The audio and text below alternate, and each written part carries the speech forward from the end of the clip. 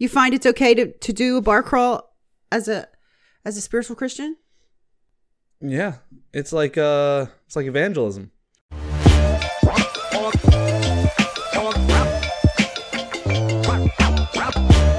Hello and welcome back to the Croak and Crow podcast. Ah, I am Spencer Cardia. I am Grace O'Malley, the pirate queen.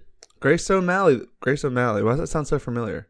She's the most famous Irish woman warrior from County Mayo. And this here is Frank, the dopest of dope, who didn't want to show up today because today is St. Patrick's Day. St.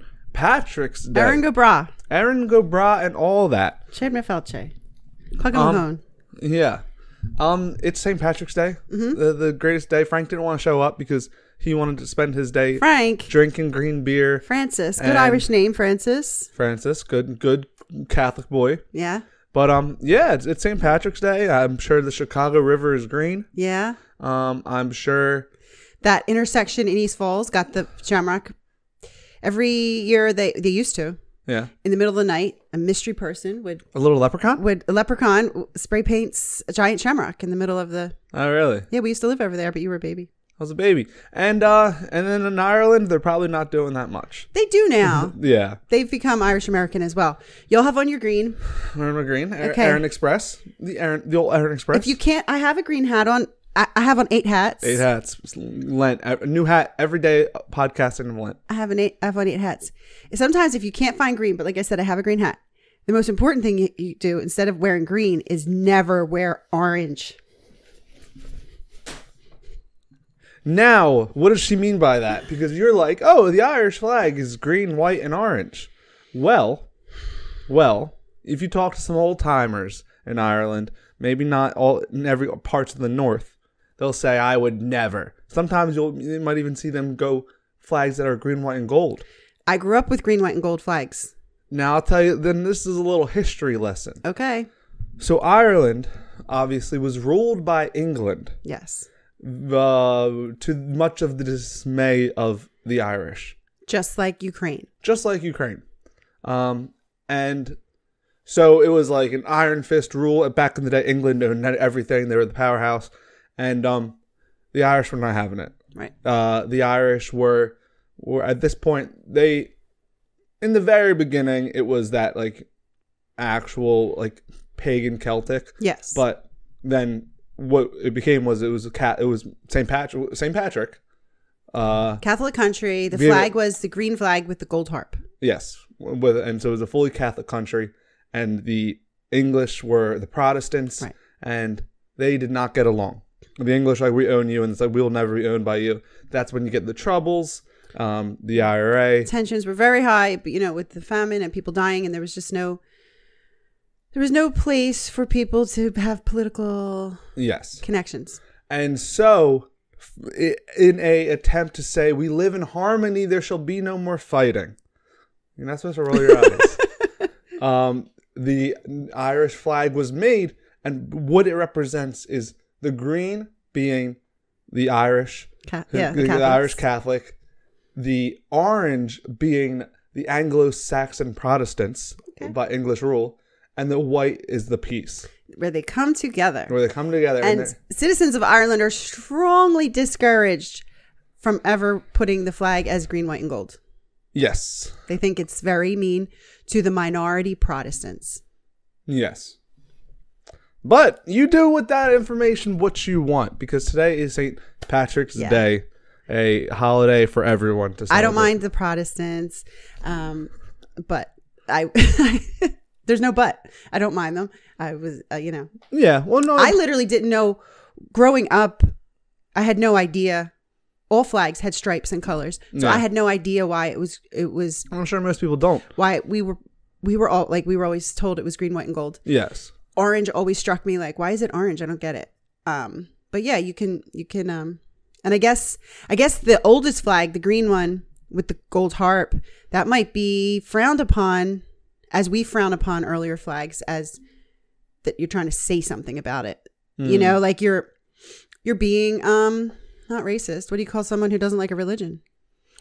Um, I don't know. Yeah. But Exclude. and then, but the- so the the one little more more confusing thing about it is, um, you know, for like it- it's it, I feel like to make it so religion based, there was also the element of just England as a occupying country, Right. And then it was like what was different about them because you know in the you know, that Western Europe, right. everyone is kind of similar. It's like, oh, we have different beliefs because we're Protestant and Catholic, but would they like them if it was a uh, a overseeing country that was also Catholic? Probably Right. still not. You know what I mean? So Yeah. there was there was that idea of territory and that um that Ru- you Russia Ukraine where it's like you're Right. both Slavic countries, Right. but we don't believe what you believe in. You don't believe what we believe in. Right. Um, and you know these years, uh, you know the uh, uh, the twentieth century, in in now you know you have the internet and you have social media and you have so much technology connection. Ukrainians people can see that Russians are just like them and nobody wants war and um but at the time in the in the 20th century there was no internet so you were just the Catholics in in um you know the Republic of Ireland were like all the Protestants are out to get us and to you know give our country over yeah. and so it was just this kind of word of mouth thing. But it would be like now, I guess, if the Ukraine, just a portion of it stayed Russia, but they're connected. Well, that's right? what I mean. Is that Yeah. not what uh, Crimea is? I don't know. Yeah, well, I remember in 2014, Russia took Crimea, and then it was like, and then even those like battling states, there is a lot of parallels to, like, not now currently because it's like everything's sort of, but like, especially during the troubles and stuff, Right. with those, um, was it Donbass and another place in Ukraine where Okay. even before this all started, that was constantly being fought in there because it was like it was Ukrainian territory, but Russia was like, we think we own it, and Right. And so that was obviously Northern Ireland where a lot of that problems were. And so it ends up whether they still own that it's in Ireland, eh, who cares? You're right. So I love my my my Protestant Irish cousins, brothers, sisters, and um, fellow countrymen. Now do you love the English? I love the English, sure. The Scottish, the Welsh. The Scottish not so much. Now, the Scottish, uh, a few years ago, they were given their chance to be independent. Yeah. Just like uh, Mel Gibson would have wanted, William Wallace, and they said no. We're gonna we're gonna keep this. Well, didn't isn't that isn't that our Puerto Rico? What? Wasn't Puerto Rico also given a chance and they said no? I think it's a little different. Is it?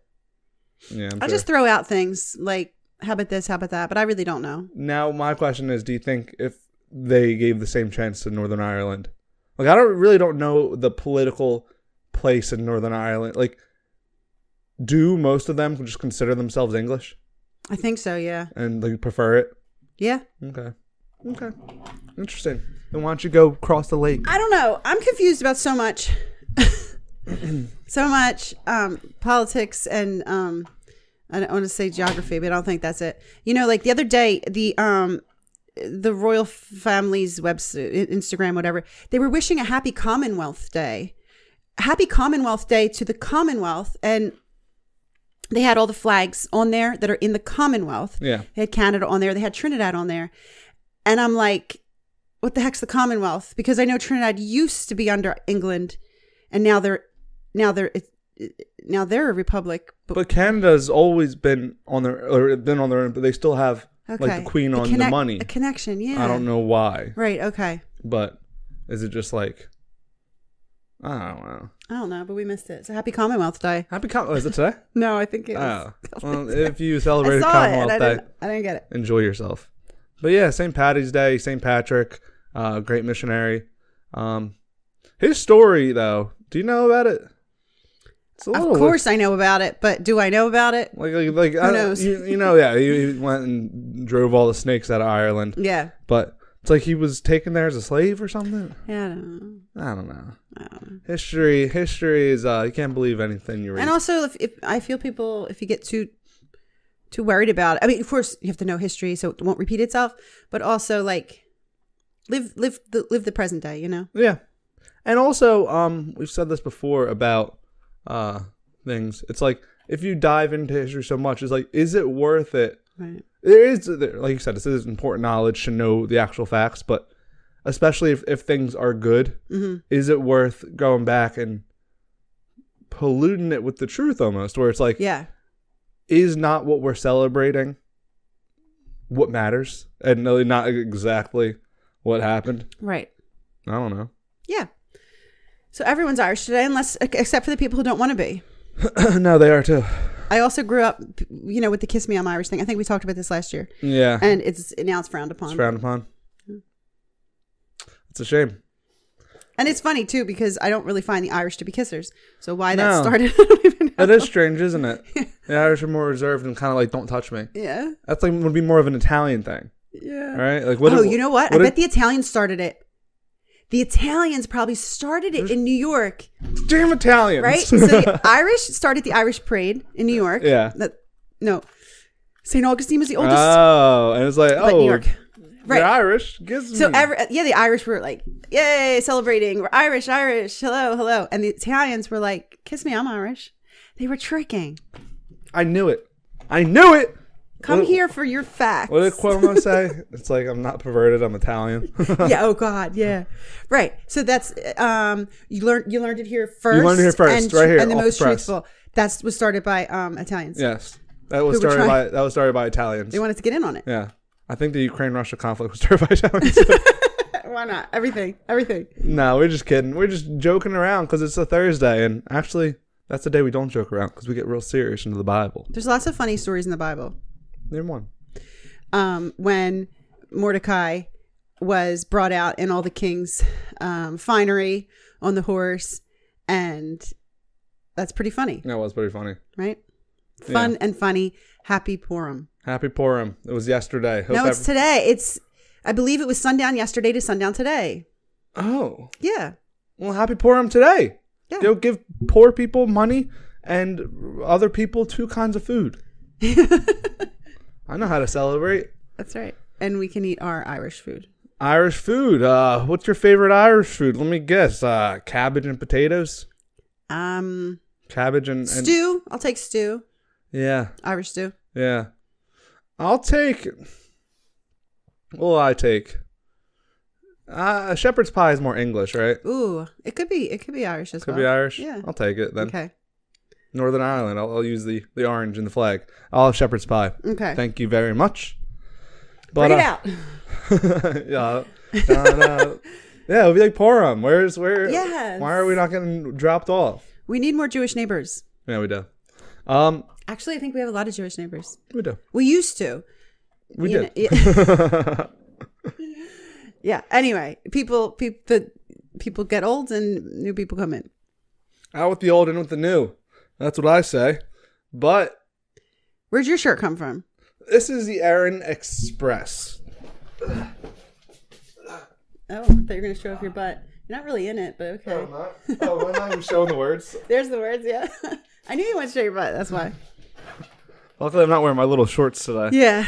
Um, Erin Express, Northeast Philly thing. Um, just a little bar crawl, but um, it's fun. It's uh, it's your Philadelphia is very, especially the Northeast section now, has always been very Irish. Yeah. and so it's um, a lot of people get really into it. Obviously, Amer- Irish American love St. Patty's Day a lot, but there's all like there's so many of these like. like is authentic the word? Like Irish pubs Okay. In Philadelphia. in in Philadelphia, especially the Northeast, that are like you know owned and operated by people from overseas. So it's cool. It, it's not like so what happens? so. It's just um you just go and hang out with a bunch of other people, and um they have school buses that are just riding around to like ten locations. Okay, so you're being shuttled from Irish bar to Irish bar to Irish bar. Yes. And um like you can just get on and off or like Yeah. it's a tour. No, it's they're constantly rotating. Okay. So like um, every thirty minutes. That or so. fun. Yeah, it's it's fun and it's just like the, the moving around. There's so many people. Yeah. It's a it's a big social event. Everyone's wearing their green. You should have got pictures for us. Yeah. You know, I'm just a little self conscious nowadays. Well, you shouldn't be. Well, then we had well, yeah, yesterday we had a live about shame, Yeah, that's right. and uh, I should have no shame No. in the way I look, No. my hideous frame. You find it's okay to, to do a bar crawl as a as a spiritual Christian? Yeah, it's like uh, it's like evangelism. I'm not saying it's not. I was just, I always ask questions that maybe the audience had. No, I, th- I think I think it's it's it's, it's fine. Um, I think, and also, I mean, like, hmm, anywhere there's, you know, uh, there's multiple people. I, I think it's great to be around people, uh, and especially if if you're for the for the right reasons, being socialness and and being kind and being friendly with people. Yes. It's like yes, it, it, it regenerates your soul, and, Yes. the more people you can deal with, we we always talk about outreach happens everywhere. Yeah, outreach happens everywhere, and even on a not a scale of, yeah, every place I was on my soapbox saying, "Let me tell you." No, I don't mean that. I just meant like being with your fellow humanity. You Yeah, know? being with your fellow humanity and just enjoying the life that God gave us, Yeah. and um, it gives you the opportunity to, like, uh, how put this? Like, I feel like religion and stuff. there's so much based on other people, like Mhm. spiritual reflection's good, you know, like isolating yourself and learning and doing your Bible reading. But when you really are put putting Christian values in practice always involves other people. Yeah. You know, like it's like your relationship with God and now what do you do with that? right. You spread your love and kindness to Yeah. everyone else. If if it's all about love, you know, okay, I'm in my room, I love myself. It's like go around, be out, be around people Yeah. and and let let them see you as the cup that's runneth runnething over yes. and you're you Yeah, are. Mm-hmm. everyone wants to be around you. Why? Because you have so much love in you. Where's where's that from? Oh, he's he's a really into Christian Christian. Yeah.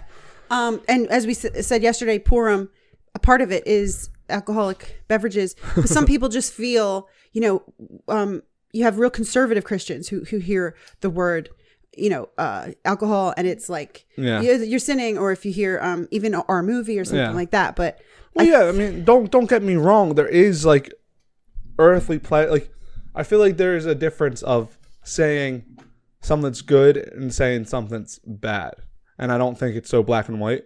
yeah. And so, is any earthly pleasures um what's it called? Like, can they be, like, be a distraction almost? And yeah, and, and especially when you involve alcohol, like in Purim, uh, you can bad decisions be made? Can things that you wouldn't do as a normal spiritual person Right. happen? Absolutely, and and it's like it's all about that that navigating ourselves on this earthly world. You know what I mean? Like yeah. um, and so we we are put on this life with all of these earthly pleasures, not to say, don't do this, Yes. stay away from it, but to say, live in har- like live in harmony of, of experience this earthly life. Yeah.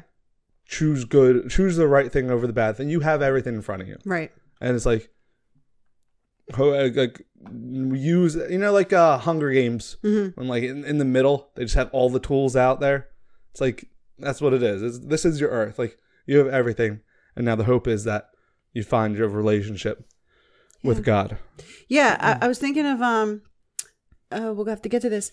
I was thinking of the the wedding, the wedding um at Can- Canaan, Canaan, Cana, the one with the uh, water to the wine the water to the wine. So everyone knows, not everyone, but mostly probably people watching our show. I can't hear because all these hats.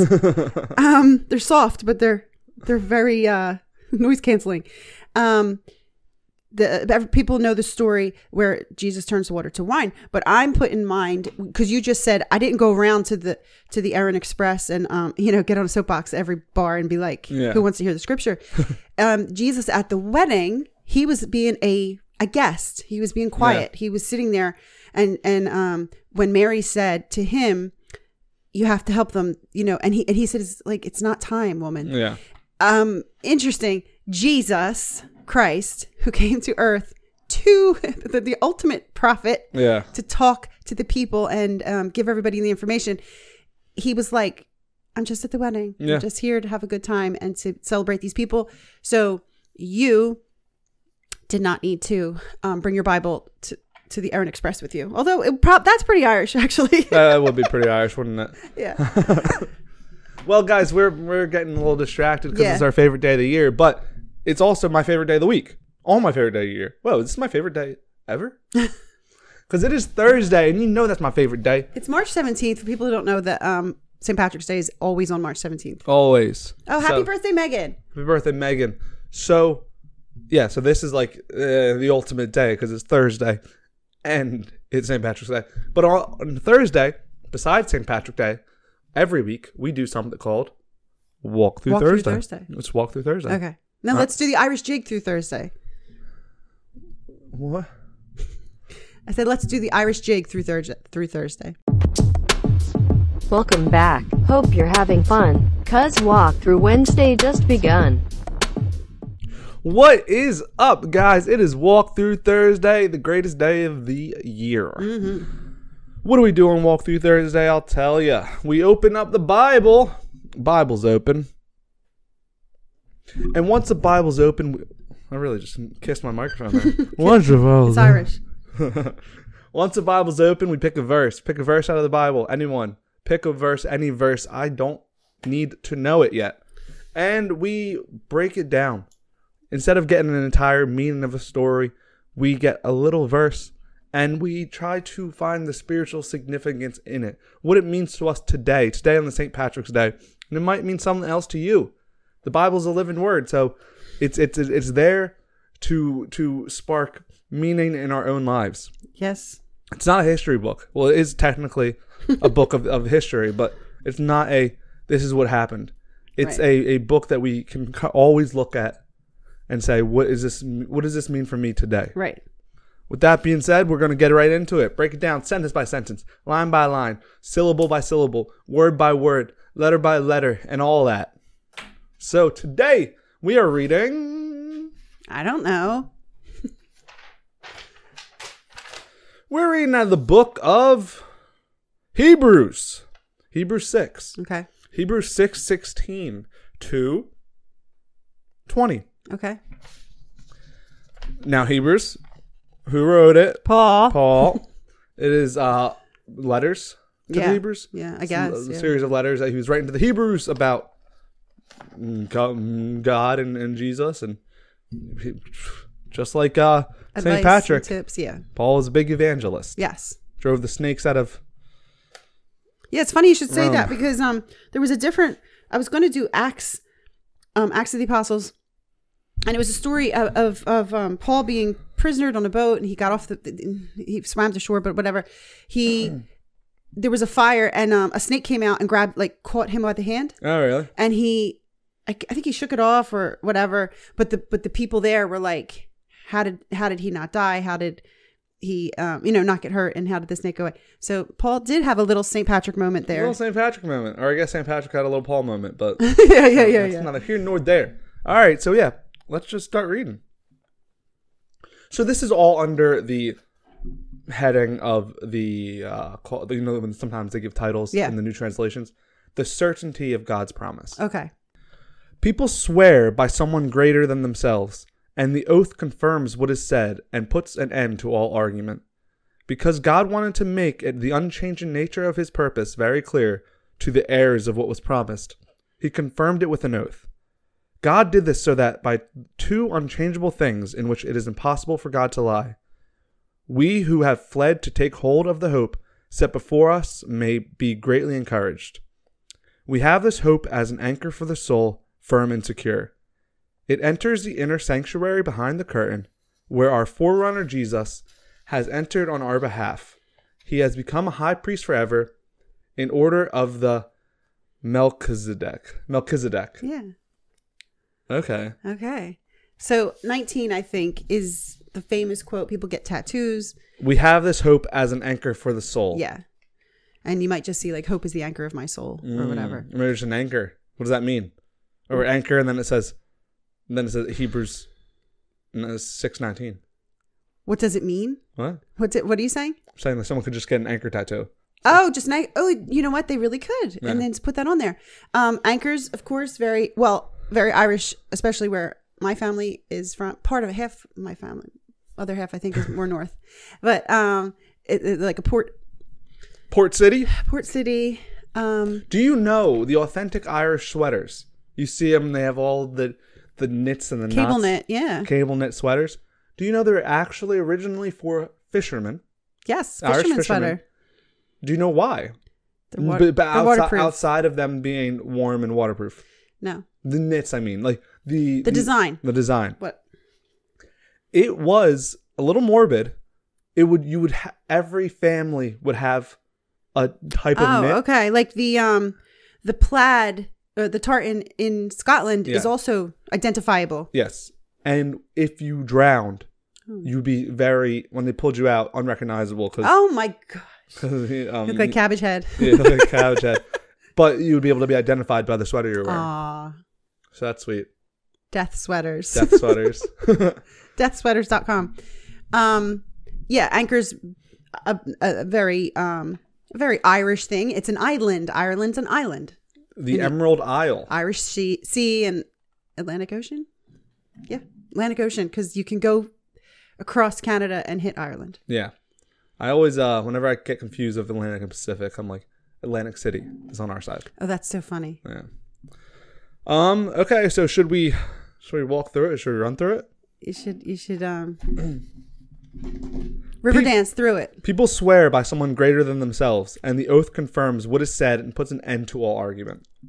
That's I swear to God, I swear to God. right? People always say Yeah. I swear to God, or the or if they're or if they're challenging you, they'll say, "Do you swear to God?" Uh yeah, because it puts an end to all argument. Yeah. Because God wanted to make the unchanging nature of his purpose very cl- clear to the heirs of what was promised. He confirmed it with an oath. Yeah. Um I think further up, but you don't have to go back, but I Mm-hmm. think when he made a um the oath or the promise to Abraham, Yeah. of course, I will surely bless you and give you many descendants. right. So God can't say I swear to anyone because God is God, right? He's the highest you can Oh. possibly be. So instead, it's I make this oath to you, and it's the same as when we swear on God or swear on the Bible. Oh, Mm-hmm. that's interesting. Um, God did this so that by two unchangeable things in which it is impossible for God to lie, we who have fled to take hold of the hope set before us may be greatly encouraged. Okay, so that's like you know uh, when you know, you know when you have these existential thoughts. You do. I do. you're laying in bed and it's like you're like think so so highly of you know obviously God the creator and it's like unconditional love. But then you might be up at night and be like if he created everything, he could just stop and get rid of everything. Yes. And I'll be gone out of existence. Yes. This is uh, the comfort in that. Right. This is saying like the two unchangeable things uh, is impossible for God to lie. So when when God make made an oath with Abraham with humanity, uh, I will I will be here for you and all of your descendants. Right. That's the comfort. It's like Yes. the same way if someone's like, "Hey, did you make out with my girlfriend?" I'm like, "I swear to God, I didn't." Right. and it's like I mean it because I'm not going to lie on God's name. Yeah. God can't lie, so he did these two things of making an oath and I can't lie, so therefore it is sworn. Right. It's funny you should say just real quickly. The funny you should say that that if God made everything, He could take everything away. You know, I'm obsessed with Job, Yeah. and in there, um, it talks about because Job keeps saying, "You hate me," and you, you know, it's like I- don't have to have any of you. So Yeah. like, just know that that if I wanted to des- destroy everything, I would, and I'm not. So Yeah. stop. Yeah. Um, we have this hope as an anchor for the soul, firm and secure. It enters the sanctuary behind the curtain. And so, once again, it, it, uh, think of a boat on, on choppy water.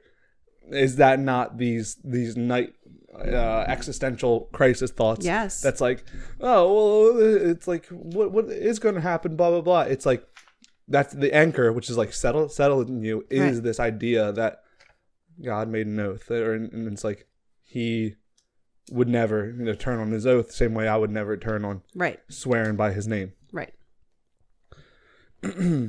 Where our forerunner Jesus has entered on our behalf, he has become a high priest forever in the order of Melchizedek. Yes. Would you like to take that one? Oh, I don't even know. I just um, when you were talking, I was like, when did I hear Melchizedek before? And it's part of the communion rite in church. They say, and the bread and wine offered by our priest Melchizedek. Um, oh, okay. So it just it's saying the order of Melchizedek. So I'm guessing, um, and this is a guess, but the same way like Jesus came from David, Yeah. um, did he also come down a line of Melchizedek? Was Melchizedek a priest, and then Yeah. Jesus became or is it the just highest priest of all time. is it just like the order of like is it like the order of priesthood and like Yeah. um spiritual governance Mm-hmm. and and Jesus is the forerunner of that. So where did you go? Um, did you just read where our you're asking me about where our forerunner Jesus has entered on our behalf?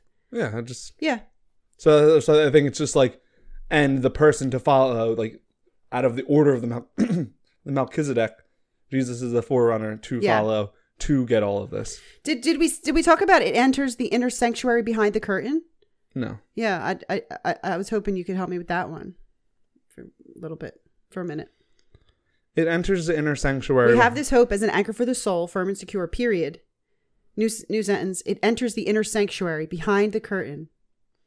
Um I Is believe that like the unseen? We have no understanding. Yeah, but I also believe that it, it's referring to the Ark of the Covenant, Oh, okay. which was, you know, God's commandments, like the holiest thing on earth that was in the, the tabernacle, which was carried around, but it was always in Protected, a- a of course. tent, There was rules. Yeah. and nobody was allowed into the like the final curtain okay. except for like the highest of the Levites. So this, so our hope is allowed to enter in there. yes. Hmm. Oh, It's clean and clean and nice and and yeah. It's like humans. Oh, we can't touch it, but it's like 'cause if you touch it, you die. But your soul is allowed. oh, that's awesome. Well, well, good thing we circled back for that. wow. Well, guys, it is St. Patrick's Day, so we need to get out of here. We're going to Ireland.